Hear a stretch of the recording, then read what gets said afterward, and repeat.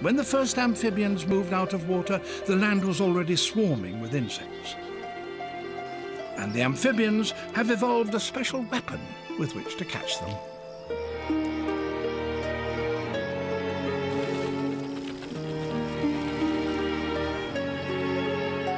Salamanders, however, have not yet developed the athleticism needed for a high-speed chase and a lightning pounce. Their hunts are rather solemn, sedate affairs.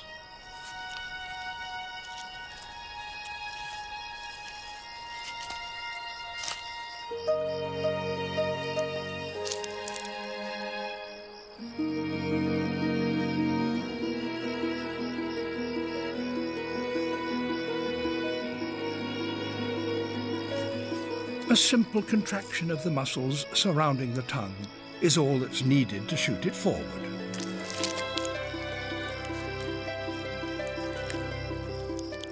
Some salamanders have a tongue that is about three quarters the length of the body, but most species have to get pretty close to their prey if they're to catch it.